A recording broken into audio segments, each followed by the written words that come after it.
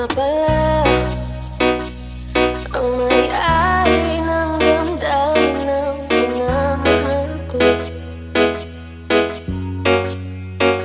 Pakisabi na lang